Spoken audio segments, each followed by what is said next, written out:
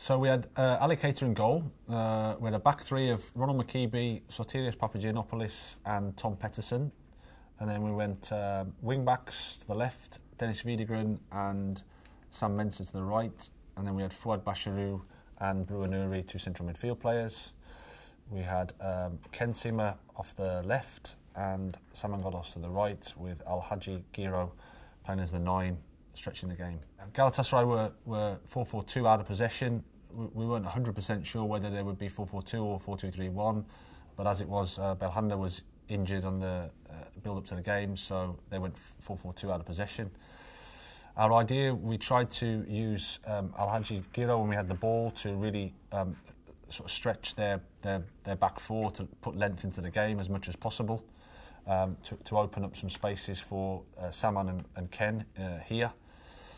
Um, the, the wing backs to sort of sort of position to, to start to work their sort of midfield block here, um, and then using Fouad and, and Brwa, uh, two central players behind their pressing strikers to to to attract the two midfielders um, of, of Galatasaray to again open up, up this space um, to the side of them. We used a, a back three with with the goalkeeper to to make it hard for them to, to, to press us and to also again try to open up that space. If we beat their if we beat their press with with for example the right-sided centre back here, um, we could play um, three versus two uh, against uh, Galatasaray's defensive structure to either receive the ball in the space here or to try and get the ball uh, in, in the space here and then we'd look to attack the box with um, the rest of our team. Defensively, we tried to to put pressure high initially um, to, to make them uh, kick the ball longer because once they had uh, uh, build up, they were quite patient. So we wanted to try and reduce the time we were out of possession.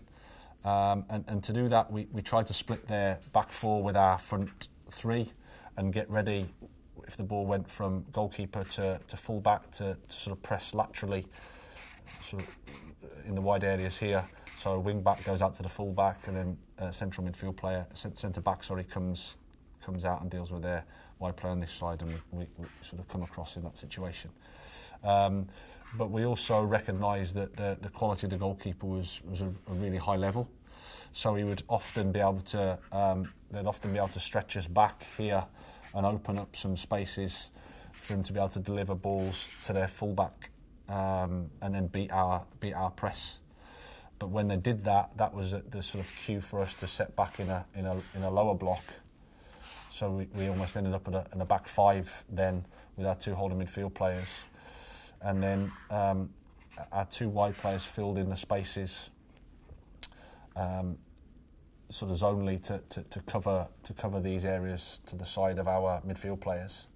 So as their front two are here, there's their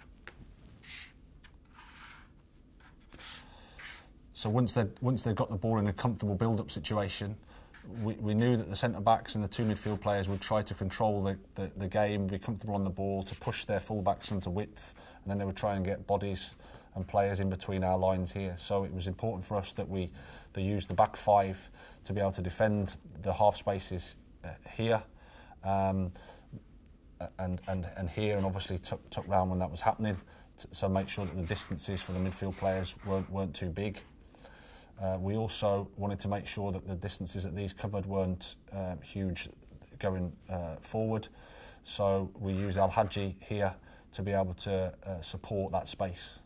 So this space became um, smaller with the use of Alhaji. He would often drop back into into into supporting these two midfielders.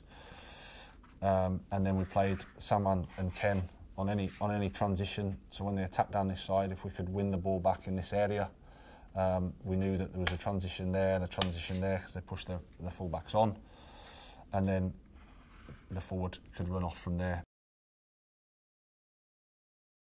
So the first goal, um, the ball went from Aly into um, Ronald. Uh, Sotte dropped into the box, which sort of sucked a bit of their pressure out. Pressure went to Ronald into Sotirios. He found Brwa in between the space because the, the, midfield players here were, were, sort of kept in a line with, with, with, with Fouad. He was able to play for the first line with, with Brwa, who could then find Saman, who'd who'd moved in between uh, behind their uh, next line of defenders.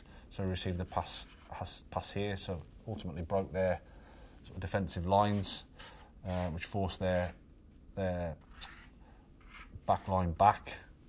Uh, received it here to, to play to Ken Sema as the team moved up. Um, Sam Mensah could overlap and create a 2v1 in this situation.